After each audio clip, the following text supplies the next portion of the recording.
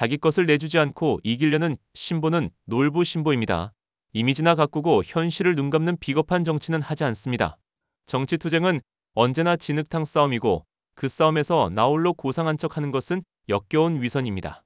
모든 것을 감안하고 싸워야 하는 순간이 다가오면 주저함이 없어야 하고 이해득실을 떠나 옳고 그름을 기준으로 싸워야지 나중에 그 명분으로 후위를 기약할 수 있습니다.